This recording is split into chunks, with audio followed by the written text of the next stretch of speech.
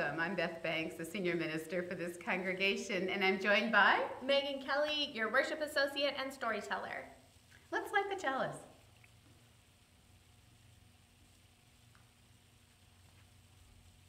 We light this chalice, a symbol of Unitarian Universalism. We are the church of the open minds.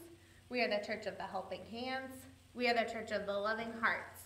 With minds, hands, and hearts, we care for this earth, each other, and ourselves. What Do You Do with a Problem? by Kobi Yamada, illustrated by Mae Besom. I don't know how it happened, but one day I had a problem. I didn't want it. I didn't ask for it. I really didn't like having a problem, but it was there. Why is it here? What does it want? What do you do with a problem? I thought. I wanted it to go away. I shooed it. I scolded at it. I tried ignoring it, but nothing worked.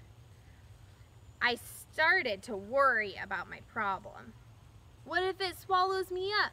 What if it takes away all my things? I worried a lot. I worried what would happen. I worried about what could happen. I worried about this and I worried about that.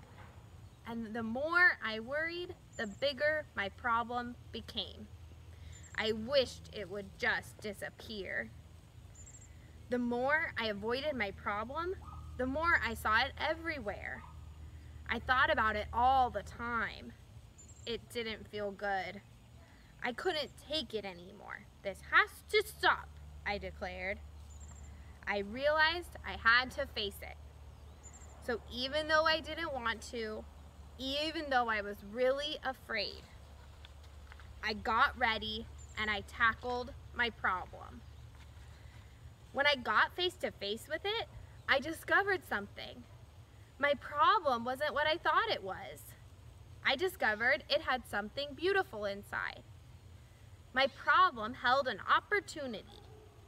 It was an opportunity for me to learn and to grow, to be brave, to do something.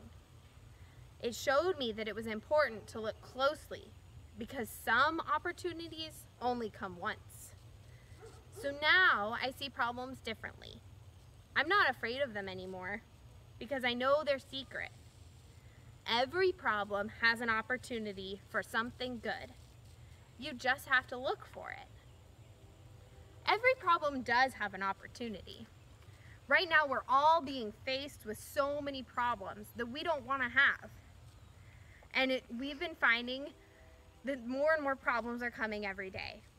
I've been finding it helpful to think about problems that I've had before that I've already finished, that I'm already done with, and remember that everything will be done eventually.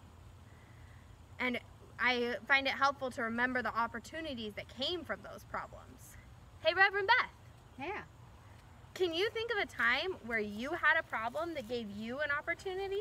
Well, actually, right now is a great example because I know some things about technology, but I need to learn a whole lot more if I'm going to connect with people in the congregation or my friends or my family, but especially the people right here because I want to gather together with a lot of people at once. So I'm having to learn a lot of new things that I don't know, and sometimes it can be just overwhelming. But one of the good things is I realize that a lot of people feel the same way, and so I can reach out to them.